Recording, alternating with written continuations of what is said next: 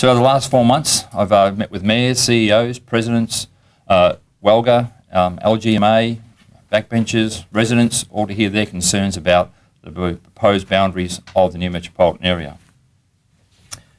Today I'd like to announce that as of July 15, we plan to reduce the local governments from 30 to 15. The announcement today is will go off to the um, advisory board. As you all know, the independent advisory board be one will take those submissions. As you saw last week, we made the announcement of Perth and all of Vincent going into Perth. Well, today I've submitted the rest, and they're made up of the following. Gosnells and Canning, Bayswater and Bassendean, Belmont and Kalamunda, South Perth and Victoria Park, Swan with Mundaring, and Kwinana with Cockburn. One of the clear identifiers why we have 15 is that Fremantle and Melville remain as identities as they are, and the proposal that came out in July had them merging as one. Today is another uh, indication of the debacle that is local government reform by the Barnett government. What we've seen today is another set of maps. Uh, it's really the third set that we've seen, uh, including a second set that was released last week, uh, that continues to put uh, forward uh, a whole lot of uncertainty for so many people in local government in the metropolitan area.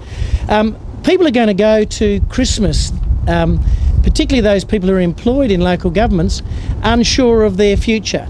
And added to that, is that we've got uh, amendments to the Local Government Act that have been introduced by the Minister, uh, and we'll be debating those in the next few weeks, which puts at question the, the independence of the Local Government Advisory Board. Um, Certainly, the City of Fremantle is very pleased. Um, I think it's a sensible way forward and one that actually supports the key arguments that we were making in Fremantle was one that we needed to keep um, Fremantle as a separate local government focused on the heart of Fremantle as a primary regional centre, um, but also one that had a really strong community of interest around it. Well, I understand. I mean, it's one of those, it's always hard when you've got major changes like this. You're always going to have some councils that feel like they've got a good result and some that feel like, you know, that they're losing important parts of that.